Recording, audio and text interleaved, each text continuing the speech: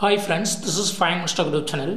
Here is Samsung Galaxy Tab A7 Lite. In this video, you will know how to set pin in Samsung Galaxy Tab A7 Lite. First of all, go to the settings and click on lock screen and click on screen lock type.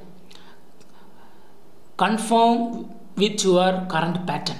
So you have to draw the current pattern, then only you can set another another type.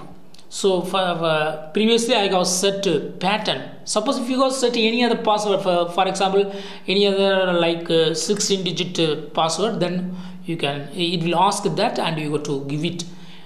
As of now i have set pattern so it asks my pattern for authentication. So i got to give it. This is my current pattern and now I can set the uh, I can change the pattern and or I can set a new pin. So here I click on pin and now I can set 4 digit pin. Remember this pin. If you forget it you will need to reset your tablet and all it will be erased.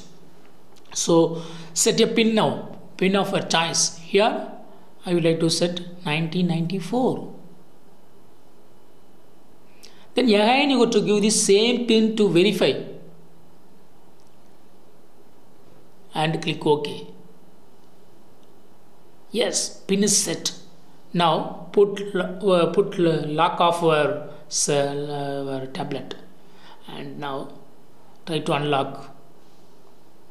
It will ask your current pin because you have changed from pattern to pin.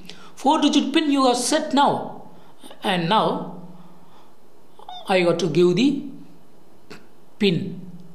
Click on. Ok oh. You know my pin? Don't misuse it.